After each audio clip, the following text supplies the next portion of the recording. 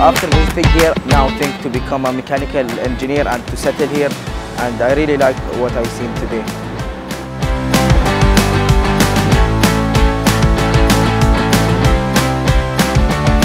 And after my visit today, I was inspired to follow my passion of petroleum engineering.